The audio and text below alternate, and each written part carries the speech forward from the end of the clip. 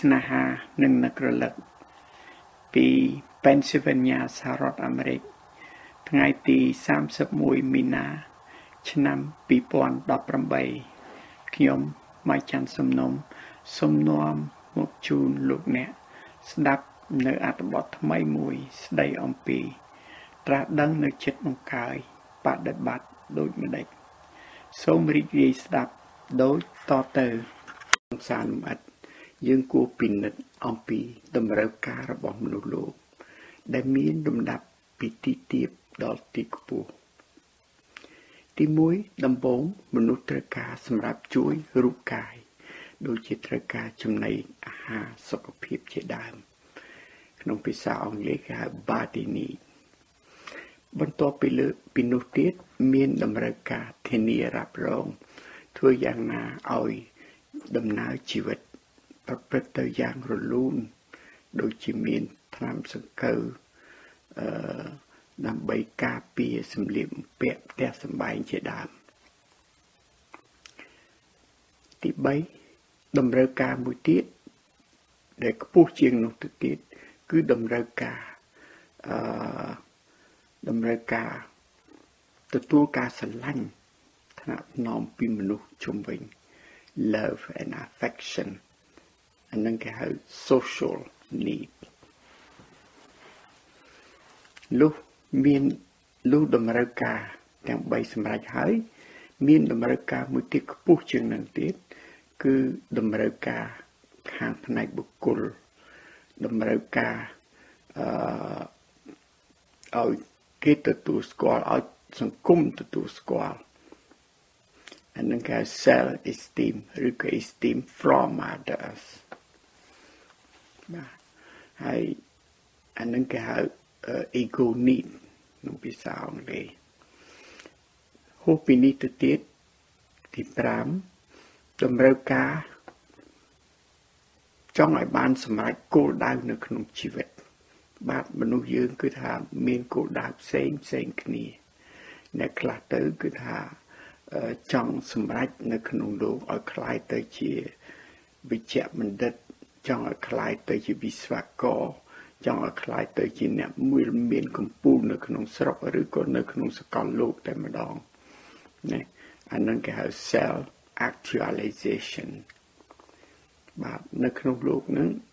មានតម្រូវការ5យ៉ាងហ្នឹងបាទតែលុះតម្រូវការទាំង5យ៉ាងហ្នឹងបានសម្រេចរួចហើយសួរថាតើមនុស្សនឹងគឺថា បានដល់ទីដៅរបស់ខ្លួនហើយឬនៅ បាទបើយើងមើលពិនិត្យទៅមើលជីវិតមែនតើគឺថាมันអស់មកដល់ទី5ហើយនឹងមនុស្សនៅតែមានបំណងចង់បាននេះចង់បាននោះ មនុស្សនៅតែមានកង្វល់នៅតែមានបញ្ហា បញ្ហាផ្លូវចិត្តបញ្ហាទ្រព្យសម្បត្តិបញ្ហាសុខភាព បញ្ហាគ្រួសារលក្ខមិនដាក់ បាទនៅប្រទេសយើងគឺថាគោលបំណងទាំង5ហ្នឹងគឺថាយើងនាំគ្នារត់សម្ដៅគោលបំណងរហូតដល់គោលបំណងទាំង5នឹងបានសម្រេចមនុស្សជាច្រើន បានសម្រេចដល់គោលបំណងទី5ហ្នឹងហើយប៉ុន្តែវាមិនចប់ត្រឹមប៉ុណ្ណឹងអញ្ចឹងអាស្រ័យហេតុនេះមនុស្សទំនើបមនុស្សដែលមានអារយធម៌ខ្ពង់ខ្ពស់ គឺថាមនុស្សលោកខាងលិចគេបានខិតខំស្រាវជ្រាវឆ្លេចឆ្លីរកគោលដៅទី6មួយទៀតគោលដៅទី6គឺបានដល់វិជាត្រាស់ដឹងសកលវិជាត្រាស់ដឹងសកល បានគោលដៅការត្រាស់ដឹងសកលតែម្ដង spirituality ក្នុងភាសាអង់គ្លេសនៅទីនេះគឺពិតជាបានសម្រេចរកឃើញសេចក្តីសុខ រកឃើញសេចក្តីសុខសន្តិភាពសុភមង្គលពេញលេញគ្រប់វិស័យក្នុងជីវិតជាមនុស្សនេះដូច្នេះហើយបានជាយើងឃើញមានការផលផុសនៅការហាត់សមាធិណាគឺថានៅលោកខាងលិចហើយការហាត់សមាធិនេះចម្លែកតាំងពីក្មេងតូចតាចឡើងទៅគេបានបញ្ចូល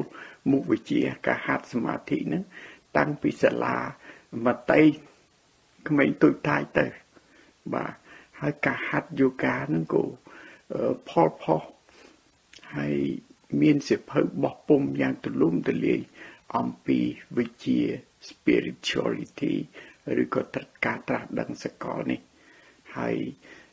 សមាធិឥឡូវនេះបានបញ្ចូលរហូតទៅដល់ ហួសអំពី នៅ ក្នុងវត្តបាគឺថាបានបញ្ចូលទៅដល់គ្រឹះស្ថានអប់រំទៅដល់មន្ទីរពេទ្យណាគឺថាឃើញថាវិជាត្រាស់ដឹងសកលនេះបានលាតសន្ធឹងយ៉ាងទូលំទូលាយនៅប្រទេសដែលមានអរិយធម៌ទំនើបទំនើបពីព្រោះគេរត់សម្ដៅទៅរកទិសដៅទី6ហ្នឹងដែលហួសផុតអំពីទិសដៅទី5 ដែលខ្ញុំពោលខាងលើនេះដូច្នេះវិជាត្រាស់ដឹង គឺថាវិជា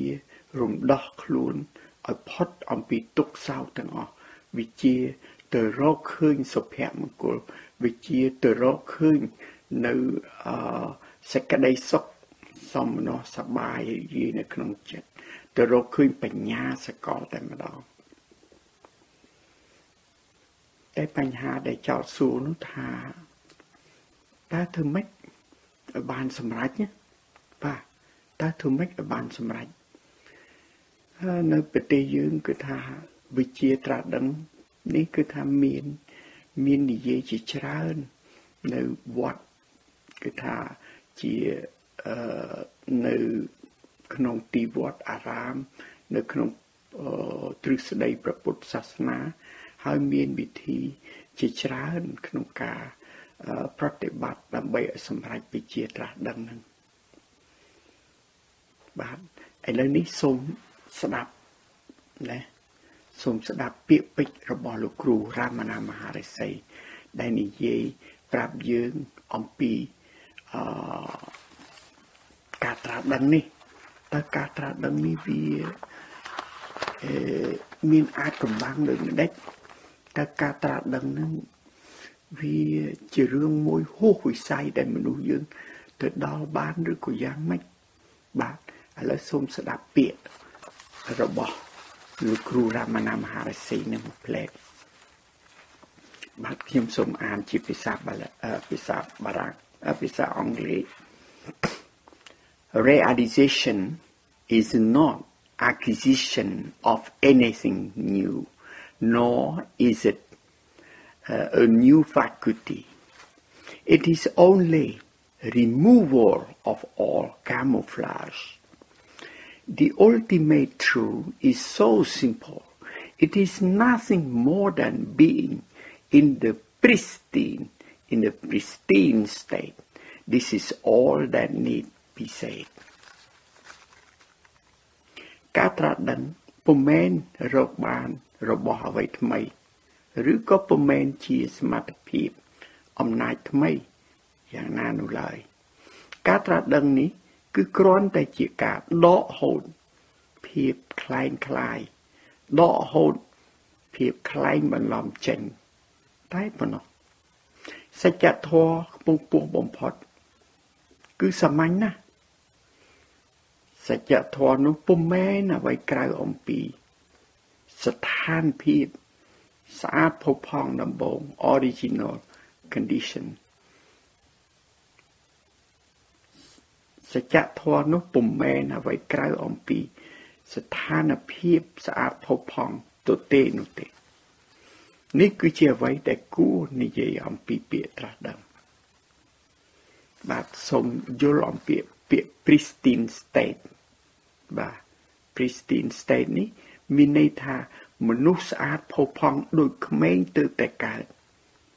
ខួរក្បាលស្បាស្អាតផុសផង់ពុំមានអ្វីប្រឡាក់ប្រឡោះឡើយខួរក្បាលដែលពុំទាន់បញ្ចូលនៅ memory បញ្ចូលនៅការចងចាំផ្សេងផ្សេងគឺស្អាតទៅទេតែម្ដងហើយដើម្បីឲ្យទៅដល់អាកន្លែងស្អាតហ្នឹងតើតែដកហូត អ្វីដែលជាខ្លែងបន្លំនឹងចេញបាទខ្ញុំនឹងពន្យល់ច្បាស់នៅភាគខាងក្រោយទៀតនៃចំណុចនេះបាទសូមស្ដាប់បន្តនៅពាក្យពេចន៍របស់លោកគ្រូរាមណាមហារិស័យថែមទៀតលោកគ្រូនិយាយថា still it is a wonder that to teach this simple truth there should come into being so many religions so many creeds method and dispute and dispute among them and so on all the pity all the pity បាទខ្ញុំសូមបកឃ្លានេះទោះបីសច្ចធម៌នេះសាមញ្ញយ៉ាងណាក្តីទោះបីសច្ចធម៌នេះបានដល់ការស្អាតផុសផង់ទៅទេយ៉ាងណាក៏ដោយ ការបង្រៀនអំពីសច្ចធម៌ដ៏សាមញ្ញនេះ បានតម្រូវឲ្យមនុស្សជាតិមានសាសនាគោគូបានតម្រូវឲ្យមនុស្សជាតិមានប្រព័ន្ធជំនឿរាប់ពុំអស់បានតម្រូវឲ្យ សង្គមមនុស្សជាតិបង្កើតនៅវិធីសាស្ត្រយ៉ាងសម្បូរបែបហើយមនុស្សកើតទំនាស់រវាងគ្នាបាទរវាងគ្នានឹងគ្នា ពីព្រោះគេមានជំនឿផ្សេងផ្សេងគ្នា នេះគួរឲ្យអាសូរណាស់នេះគួរឲ្យអាសូរណាស់ជំវិញវិធីសាស្ត្រធ្វើយ៉ាងណាឲ្យសម្រេចការត្រាស់ដឹងខ្ញុំសូមអធិប្បាយគុណលឹះបំផុតដែលនាំឲ្យការប្រតិបត្តិងាយស្រួលដែលនាំឲ្យដែលនាំទៅកាន់ ទីងាយប្រតិបត្តិការត្រាស់ដឹងដោយឈរលើទស្សនៈទានខ្ញុំពីរម៉ាត់គឺខ្ញុំទី1ដែលជាចិត្តបរិសុទ្ធនិងខ្ញុំទី2ដែលជាតួរូបកាយតួចិត្តនិងតួកងកម្មបាទសូមអ្នកទាំងអស់គ្នា ចូលរួមពិនិត្យចំណុចសំខាន់សំខាន់3យ៉ាង ដូចខាងក្រោមចូលរួមហើយ សូមពិសោធន៍ជាមួយនឹងខ្ញុំតែម្ដងចំណុចទី1មនុស្សនិងសត្វខុសគ្នា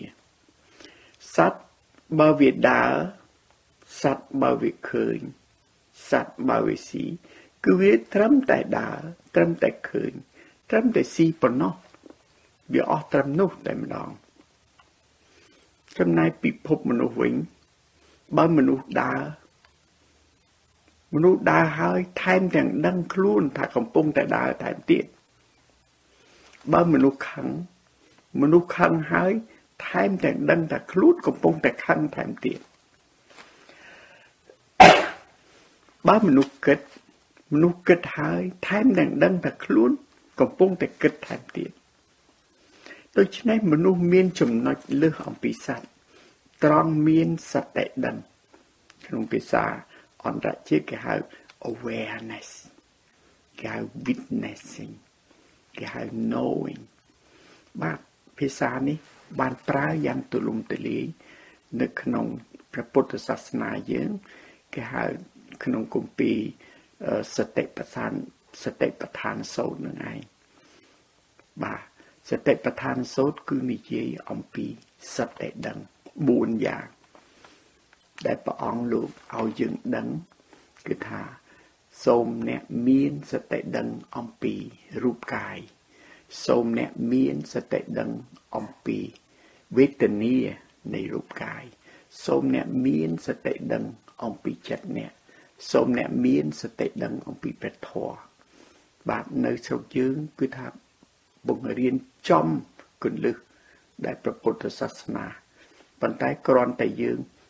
ចាប់យកគន្លឹះនឹងមកនិយាយអត់បានឥឡូវនេះសូមបន្តស្ដាប់នឹងពិសោធន៍ជាមួយនឹងខ្ញុំតទៅទៀតបាទយើងឃើញថាមនុស្សនិងសត្វខុសគ្នាត្រង់ហ្នឹងបាទមនុស្សមានចំណុចលើសអំពីសត្វត្រង់មានសតិដឹងនឹងតែម្ដងឥឡូវសូមចូលរួមអឺពិនិត្យឃ្លាខាងក្រោមនេះ ខ្ញុំឃ្លានបាទតាមពិតរូបកាយឃ្លានមនុស្សនិយាយថាខ្ញុំដឹងថាខ្ញុំឃ្លានបាទនៅក្នុងឃ្លានេះ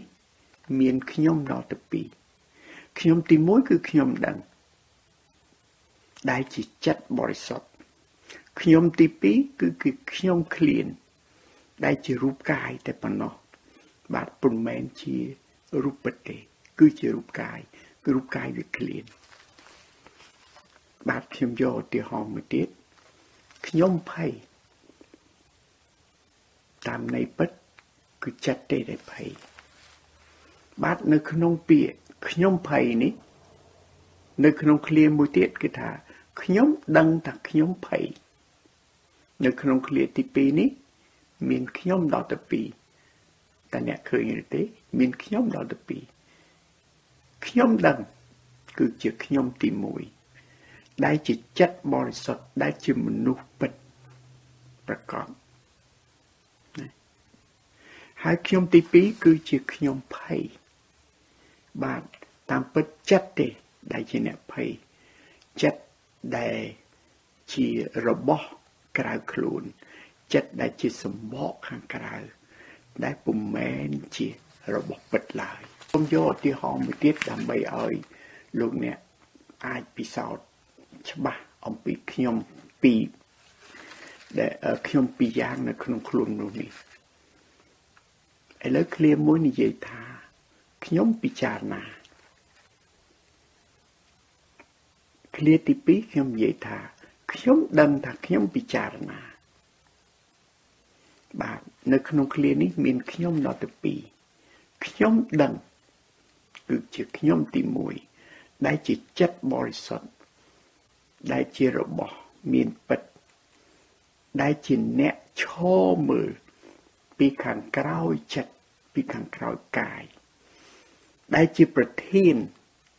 នៃសកម្មភាពឈរមើលអានឹងជាខ្ញុំទី1ខ្ញុំទី2គឺជាខ្ញុំពិចារណា គឺជាប្រាជ្ញាមនុស្ស ណាដែលគិតពិចារណា វាជាកម្មបត្តិណាវាជាអ្នករងអំពើដូច្នេះសរុបមកគឺថានៅក្នុងខ្លួនមនុស្សយើងនឹងមានខ្ញុំដល់ទៅ2មែនឬទេឥឡូវខ្ញុំចូលមកចំណុចទី2គូក៏សម្គាល់ថាពាក្យខ្ញុំដឹង ខ្ញុំទី1បាទសូមកត់សម្គាល់របស់លើពាក្យខ្ញុំដឹងខ្ញុំទី1នេះ តាំងពីកើតមកពាក្យខ្ញុំដឹងនេះវត្តមានជានិច្ចមែនទេពេលដែលអ្នកអាយុទៅតែ5ឆ្នាំ មានខ្ញុំដឹងមួយទៅហើយអាយុ15ឆ្នាំហើយមុនមុនអំពីអាយុ5ឆ្នាំហ្នឹងក៏មានដែរខ្ញុំដឹង បាទហើយដល់អាយុ15ឆ្នាំបើយើងមើលទៅក៏មានខ្ញុំដឹងដែរណាតែឥឡូវនេះអ្នកទាំងអស់គ្នាកំពុងតែស្ដាប់ខ្ញុំនឹងក៏មានខ្ញុំដឹងនៅក្នុងនឹងដែរបាទខ្ញុំដឹងនឹងពុំប្រែប្រួលឡើយមួយជីវិតមនុស្សវាមានមុខជាប់ជានិច្ចហើយ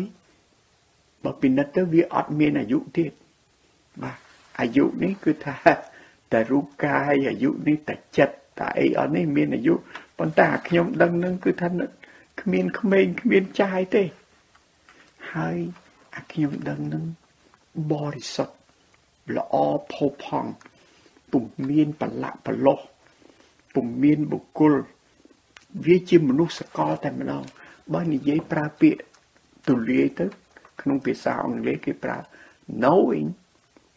awareness witnessing ចំណុចទី2ខ្ញុំបានបញ្ចប់ហើយឥឡូវចំណុចទី3សូមអ្នកចាប់អារម្មណ៍លើឥឡូវខ្ញុំនិយាយឃ្លានីមួយមួយជូនខ្ញុំភ័យមានពាក្យដឹងនៅទីនោះ awareness មានពាក្យដឹងនៅពីខាងក្រោមខ្ញុំភ័យនោះខ្ញុំព្រួយបាទមានពាក្យដឹងនៅទីនោះ awareness witnessing ខ្ញុំ នឹកគិតបាទមានពាក្យដឹងនៅទីនោះខ្ញុំឃើញបាទមានពាក្យដឹងនៅទីនោះ awareness ខ្ញុំឈឺជើងបាទខ្ញុំមានពាក្យដឹងនៅទីនោះ មានពាក្យដឹងនៅទីនោះខ្ញុំយល់មានពាក្យដឹងនៅទីនោះឃើញទេដូច្នេះដឹងឬខ្ញុំទី1នោះ មានមុខឈនិចគ្រប់ការពិសោធន៍របស់មនុស្សយើង ពុំប្រែប្រួលឡើយវាជាទម្រគ្រប់ពិសោធន៍របស់មនុស្សក្នុងភាសាអង់គ្លេស underneath of any experiences វាជាចំណុចរួមនៃការពិសោធន៍របស់មនុស្សឯខ្ញុំទី2វិញគឺថាមានភ័យមានព្រួយ មាននឹកគិត មានឃើញ មានឮសំឡេង មានយល់បាទទាំងអស់នោះ គឺជាផ្នែកខាងលើ ជាផ្នែកផ្លាស់ប្ដូរជាផ្នែកប្រែប្រួល ជាផ្នែកមិនពិតទេបាទដូច្នេះមកដល់ពេលនេះ អ្នកទាំងអស់គ្នា បានស្ដាប់នៅចំណុចទាំង3ខាងលើហើយចំណុច ទាំង3ខាងលើដែលខ្ញុំរៀបរាប់មកនេះ បង្ហាញថា នៅក្នុងខ្លួនមនុស្សយើងគ្រប់គ្រប់គ្នា យើងពិសោធន៍ឃើញមានមនុស្ស2នាក់នៅក្នុងនោះមនុស្សខ្ញុំទី1គឺខ្ញុំដឹងដែលខ្ញុំនិយាយដដែលដដែលថាជា awareness ជា knowing ជា witnessing ដែលនៅក្នុងធម៌អពាក្យព្រះពុទ្ធសាសនាយើង គឺប្រើពាក្យត្រឹមតែសតិដឹងនឹងហើយខ្ញុំដឹងទី1នេះ មានវត្តមានជានិច្ចពុំប្រែប្រួលពុំថិតថេរហើយវាជាមណ្ឌលមនុស្សជារូបមនុស្សពិតតែម្ដងបាទចំណែកឯខ្ញុំទី2 គឺតំណាងឲ្យភាពប្រែប្រួលខាងក្រៅមនុស្សដូចជាវាតំណាងឲ្យសតុបកាយវាតំណាងឲ្យសតុបចិត្តវាតំណាងឲ្យសតុបកងកម្មខ្ញុំទី2នេះប្រែប្រួលជានិច្ចប្រែជាខ្ញុំសប្បាយខ្ញុំខឹងខ្ញុំភ័យខ្ញុំឃើញខ្ញុំគិតឡាកើតរលត់កើតរលត់ បាទជាបន្តបន្ទាប់ឧទាហរណ៍ដូចជាពេលដែលយើងភ្ញាក់ឡើងដំបូងពេលដែលភ្ញាក់ឡើងគ្រាន់តែដឹងខ្លួនភ្លៀងអត់ដឹងអីទាំងអស់គ្រាន់តែគ្រាន់តែដឹងតែដឹងខ្លួនតែប៉ុណ្្នឹងទេបាទអាហ្នឹងគឺជាខ្ញុំទី1ដែលភ្ញាក់ឡើងពីព្រលឹមណាបើអ្នកពិនិត្យមែនតើមានអាខ្ញុំទី1ចេញមកមុន តែមួយសន្ទុះមកសាប់តែនឹកពេលហ្នឹងគឺថាអា memory រឿងរ៉ាវពីម្សិលមិញហ្នឹងគឺចូលមកអូអញថ្ងៃនេះត្រូវប្រជុំត្រូវអីកើតព្រួយបារម្ភមកពេចហ្នឹងអញហៅពាក្យអីទៅដោះស្រាយដោះសារដោះសារនៅក្នុងអង្គប្រជុំទេនៅថ្ងៃនេះស្រាប់តែមកស្ទុះមកមានទូរស័ព្ទមួយ call រឿងមក អូអ្នកឯងត្រូវឆ្នោតហើយគេនេះអូពេលនឹងអាខ្ញុំមួយទៀតចេញមកអូសបាយអូខ្ញុំសបាយចេញមកបាទកំពុងតែខ្ញុំសបាយស្រាប់តែភ្លេចដុសថ្មិញអាខ្ញុំមួយទៀតថាអីមិនភ្លេចដុសថ្មិញបវទៅប្រជុំគឺថាស្អុយមាត់ហ្នឹងឃើញទេហើយពេលនោះអាខ្ញុំមួយទៀតលេចមកដូច្នេះតាំងពីព្រលឹមទល់នឹងប្រលប់ខ្ញុំទី2ហ្នឹងគឺថា ខ្ញុំមួយកើតឡើងខ្ញុំទី2កើតឡើងខ្ញុំទី3កើតឡើងងើបកើតស្លាប់កើតស្លាប់ជាបន្តពេញប៉ុន្តែអាអ្នកដឹងនៅពីខាងក្រោមនោះគឺថានៅតែដឹងរហូតបាទហើយមួយផ្នែកទៀតពេលដែលខ្ញុំដឹងថាខ្ញុំកំពុងតែកើតទុក្ខខ្ញុំកំពុងតែព្រួយបារម្ភបើសទុះមក អាខ្ញុំដឹងថាខ្ញុំកំពុងតែព្រួយបារម្ភហ្នឹងលាយបាត់ទៅបាទលាយបាត់ទៅតើខ្ញុំដឹងហ្នឹងទៅតាមមកទៅតាមមកដេញខ្ញុំកើតទុកហ្នឹងទេអត់ទេខ្ញុំដឹងនៅហ្នឹង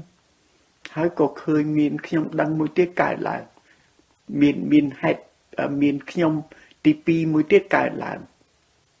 បាទខ្ញុំទី2កើតឡើងថាខ្ញុំសប្បាយរីករាយ ដោយបានត្រូវឆ្នោតណាខ្ញុំទី2ហ្នឹងកើតឡើងបាទហើយខ្ញុំដឹងនៅនឹងមិនសទុះខ្ញុំទី2ដែលសបាយរីករាយហ្នឹងក៏លាយបាត់ទៅខ្ញុំដឹងនៅនឹងបាទហើយមានខ្ញុំមួយទៀតកើតឡើងក៏ដឹងដូច្នេះខ្ញុំដឹងនឹងនៅនឹងជានិច្ចចំណែកឯខាងរបស់ខាងក្រៅនេះ ចេះតែផ្លាស់ប្ដូរជាប់ជានិច្ចបាទ ហើយខ្ញុំសូមជូនឧទាហរណ៍មួយទៀតអានេះបើយើងមើលកង់បាទកង់ដែលយើងជិះហ្នឹងអាកន្លែងវងមូលហ្នឹងណាកន្លែងវងមូលហ្នឹងបាទនៅកង់ហ្នឹងគឺថាវាមានដុំកដាលវាមានកម្មហើយវាមានកស៊ូពីខាងក្រៅបាទបើយើងពិនិត្យមើលទៅ មានមួយផ្នែកគឺនៅនឹងហ្មងដុំណាអាដុំកង់នៅនឹងប៉ុន្តែ កម្មប៉ុន្តែកស៊ូស្អីនៅខាងក្រៅវិលខ្ញាល់បាទវិលខ្ញាល់ឃើញទេដូច្នេះប្រៀបធៀបនឹងកង់នឹងគឺថាខ្ញុំទី1ដូចដុំនឹងចឹងហើយចំណែកខ្ញុំទី2ដូចកម្មហើយនឹងកស៊ូនឹងបាទឃើញទេនៅក្នុងធម្មជាតិយើងមានមើលឃើញអញ្ចឹងប្រៀបធៀបដូចគ្នាទន្ទឹមនេះខ្ញុំសូមនាំអ្នក ឲ្យយល់អំពីទស្សនៈមនុស្សវែងទស្សនៈដែលអវិជ្ជារបស់មនុស្សនៅក្នុងលោកលើផែនដីយើងនេះតើនៅចំណុចណាបាទបាទមនុស្សពិតគឺជាមនុស្សទី1នេះប៉ុន្តែមនុស្សយើងវង្វេងតាំងទៅពីកំណើតមក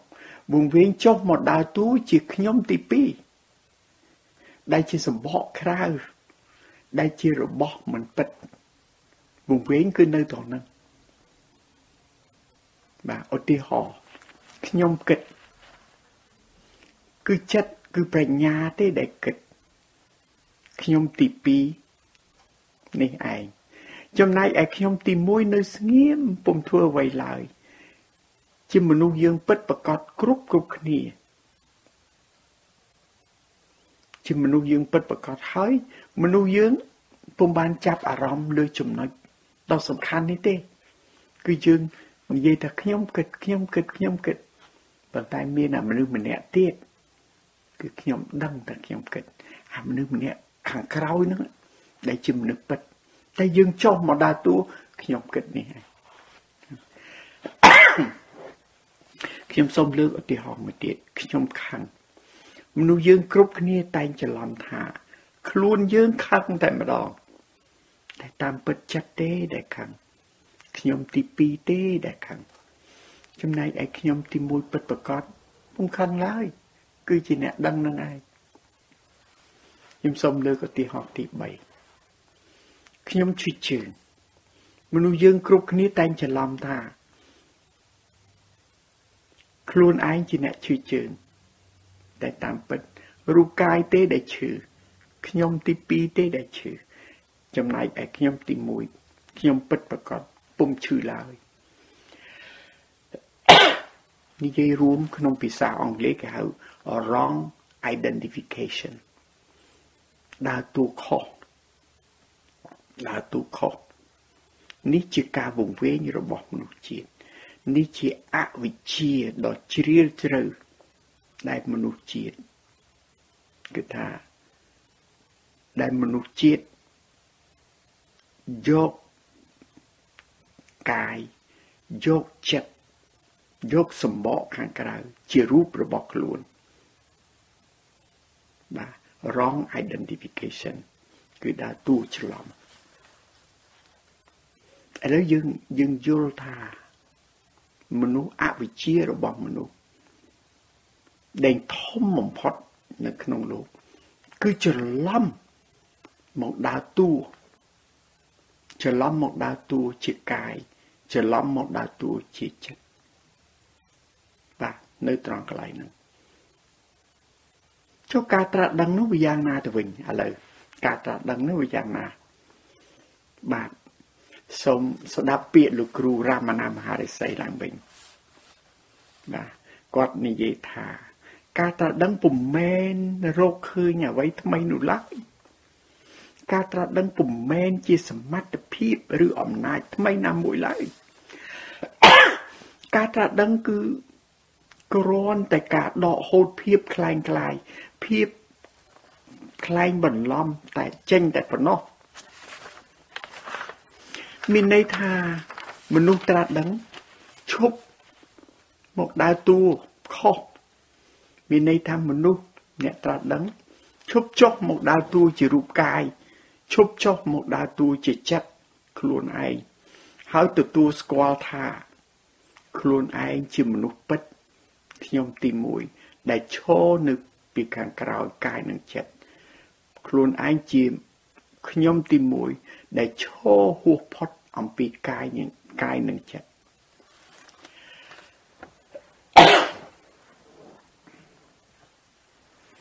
តើអ្នកជ្រុតជ្រាបហើយឬនៅឥឡូវនេះ ការត្រាស់ដឹងនៅត្រង់ណា ការត្រាស់ដឹងគឺនៅត្រង់មនុស្សឈប់ដើរតួខុសការត្រាស់ដឹងនៅត្រង់កន្លែងមនុស្សឈប់ចុះមកដើរតួជារូបកាយមនុស្សឈប់ ចុះមកដើរតួជាចិត្តមនុស្សទទួលស្គាល់ថាខ្លួនឯងជាមនុស្សពិតខ្ញុំទី1ដែលឈរពីខាងក្រៅកាយនិងចិត្តដែលឈរ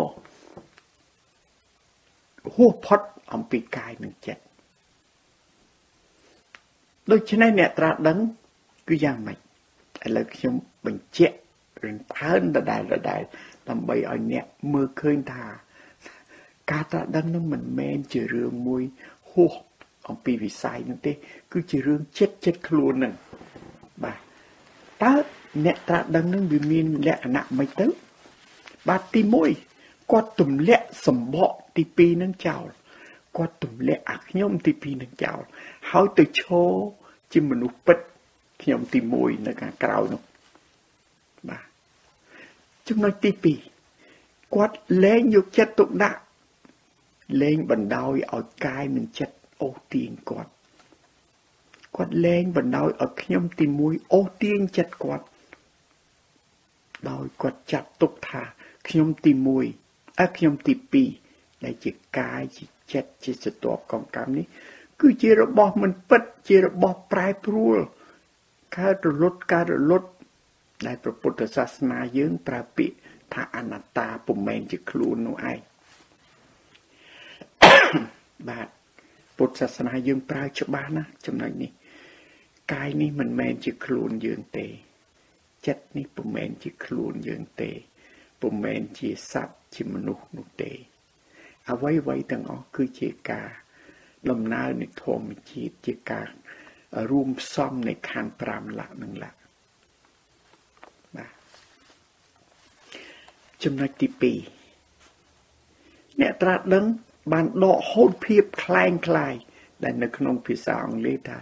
camouflage ដកហូតតួនាទីខ្ញុំទី2ចេញលែងជឿជារបស់ពិតខ្ញុំទី2គ្រាន់តែជារបស់ខ្លែងបន្លំបាទគាត់បើកវាំងណូនខ្លែងបន្លំនោះ ឲ្យអស់ទៅគាត់នឹងរកឃើញខ្ញុំទី1ដែលជារូបពិត ដែលជារបស់ពិតដែលជាចិត្តបរិសុទ្ធនៅពីខាងក្រៅនោះឯងសូមបញ្ជាក់ថាខ្ញុំនិយាយថា អ្នកត្រាស់ដឹងបកខ្ញុំទី2ចោលមិនមែនមានន័យថាអ្នកត្រាស់ដឹងសម្លាប់កាយនេះចោលឬក៏បំផ្លាញចិត្តចោលនៅពេលដែលកំពុងតែរស់នៅ ក្នុងរូបកាយជាមនុស្សនោះទេ តាមពិតគឺគ្រាន់តែ មនុស្សមើលឲ្យឃើញច្បាស់ថាមនុស្សមើលឲ្យឃើញសច្ចធម៌ឲ្យឃើញការពិតពោលគឺភាពខ្លែងបន្លំ របស់សតបកាយសតបចិត្តសតបកងកម្មភាពខ្លែងបន្លំរបស់ខ្ញុំទី2នោះអ្នកត្រាស់ដឹងនឹងឈប់ដើរទូខុសទៀតគាត់ទៅឈរជាចិត្តបរិសុទ្ធតែម្ដង ឈរជាខ្ញុំទី1ពេលដែលគាត់ទៅជាឈរជាខ្ញុំទី1ជាអ្នកមើលពីខាងក្រៅចិត្តនេះពេលនោះហើយគាត់ជាមនុស្សអ្នកត្រាស់ដឹងហើយបាទមកដល់ពេលនេះតើអ្នកបានយល់ដឹងជ្រូតជាខ្លះហើយឬនៅ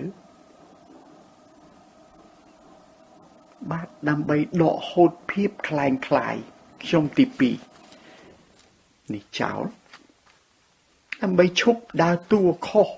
false identity ដើម្បីទៅឈរជាចិត្តបរិសុទ្ធជាមនុស្សខ្ញុំទី1មនុស្សជាតិជាច្រើនចំនួននៅលើផែនដីយើងនេះ គេបានរកឃើញវិធីសាស្ត្រ4បែបសម្រាប់មនុស្ស4ពពួកផ្សេងផ្សេងគ្នា សម្រាប់មនុស្សដែលគេប្រើជួយចិត្តប្រើបញ្ញាជួយចិត្តប្រើគូក្បាលគិតគូពិចារណាមនុស្សជាតិបានមានមេគាមួយគេហៅមេគាស្វែងយល់ស៊ីជម្រៅចិត្តមនុស្ស path of knowledge សម្រាប់ពួកបញ្ញវន្តដែលស្រាវជ្រាវ អំពីចិត្តសាស្ត្រស្រាវជ្រាវអំពីទស្សនវិជ្ជានៅក្នុងខ្លួនមនុស្សនេះបាទនឹងគេហៅ path of uh knowledge បាទចំពោះមនុស្សមកពពួកទៀតដែលនិយមប្រើអារម្មណ៍ដែលនិយមប្តេកផ្ដួលទៅលើចូលចិត្ត love ចូលចិត្តសេចក្តីស្នេហាចូលចិត្តមេត្តា បាទមនុស្សពពួកនេះ មនុស្សជាតិក៏បានរកឃើញនៅមេគាមួយទៀតសម្រាប់ពួកគាត់ដែរគឺវិធី គឺមេគាបូជាព្រះអាទិទេព path of devotion បាទ path of devotion ហើយមានមនុស្សមកពពួកទៀតជាមនុស្សអពុំចង់ស្រាវជ្រាវពុំចង់សិក្សាពុំចង់អីទេ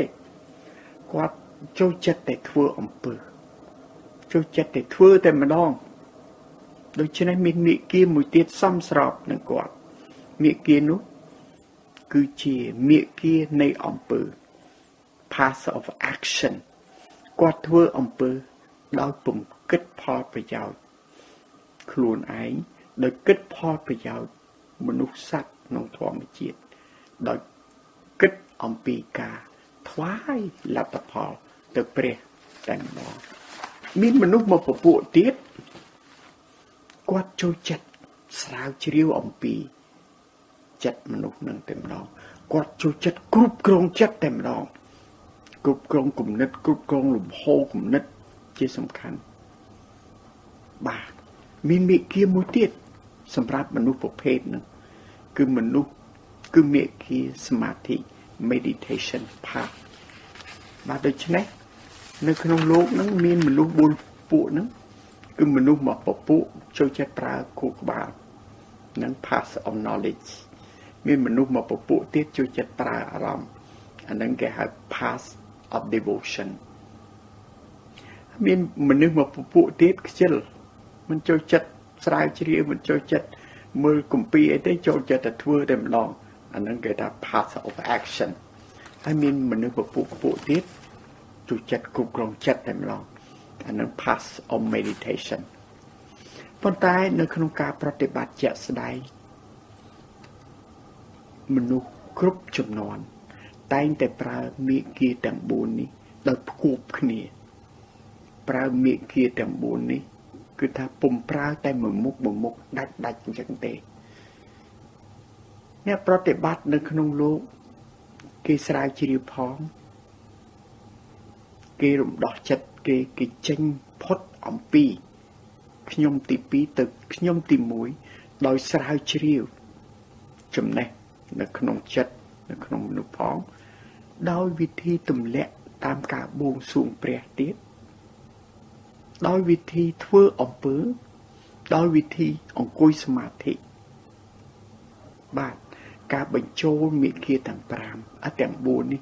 ចូលទៅក្នុង មនុស្សម្នាក់នោះ គឺថាធ្វើឲ្យការប្រតិបត្តិការធ្វើដំណើរទៅរកការត្រាស់ដឹង បានសម្រេចឆាប់មានប្រសិទ្ធភាពពិតពិតណាស់លើកសន្និដ្ឋានរួមមួយ គ្រប់ប្រការទាំង4ដែលខ្ញុំអឺដែលដឹកនាំមនុស្សគ្រប់មេគាទាំង4 ដែលដឹកនាំមនុស្សឲ្យបានទៅដល់ការត្រាស់ដឹងគឺបានន័យថាបកឬប្រឡែងចោលខ្ញុំទី2នេះចោលបានន័យថាបកឬក៏ប្រឡែងសម្បកឬក៏សតបកម្មសតបចិត្តសតបកាយចោលបានឬក៏មានន័យថាបន្សាបអតិពល ខ្ញុំទី2នេះចោលឬក៏ឈប់ទទួលស្គាល់ថាខ្ញុំទី2នេះជារូបិតបាទមេគាទាំង4ដែលខ្ញុំនិយាយខាងលើហ្នឹងសំដៅទៅតែប៉ុណ្្នឹងបកឬក៏ប្រឡែងចោលខ្ញុំទី2ឬបន្សាបអតិពលខ្ញុំទី2ឬក៏ឈប់ទទួលស្គាល់ថាខ្ញុំទី2នេះជារូបិតបាទតទៅនេះខ្ញុំនឹងលើកលំអិតអំពីវិធីសាស្ត្រទាំង4 នេះមកជូនណាណាវិធីសាស្ត្រខ្ញុំនិយាយត្រឡប់មកវិញវិធីសាស្ត្រទាំង4ហ្នឹងគឺដើម្បីបកខ្ញុំទី2ចោលដើម្បីបន្សាបខ្ញុំទី2ចោលដើម្បីឈប់ទទួលស្គាល់ខ្ញុំទី2ជារូបិតបាទឥឡូវខ្ញុំនឹងជម្រាបជូនអំពីវិធីសាស្ត្រទាំង4លំអិតជូនដូចតទៅប្រិមិត្ត ជាទីស្នេហា និងនឹករលឹកខ្ញុំសូមស្លេះអានអត្ថបទស្ដីអំពី ត្រាស់ដឹងនៅចិត្តបង្កើយបដិបត្តិដូចម្ដេចសូមបន្តស្ដាប់ភាកក្រោយក្រោយតទៅទៀតសូមអ្នកឆ្លងផុតពីអវិជ្ជាទៅត្រាស់ដឹងសូមអ្នកឆ្លងផុតពីភាពងឹតទៅពន្លឺសុភមង្គលបរមសុខសូមអ្នកឆ្លងផុត ពីវាលវដ្តសង្សារកើតស្លាប់កើតស្លាប់នឹងបានទៅដល់ព្រះនិព្វានជាទីផុតទុក្ខទាំងពួងសូមអរគុណនិងជម្រាបលា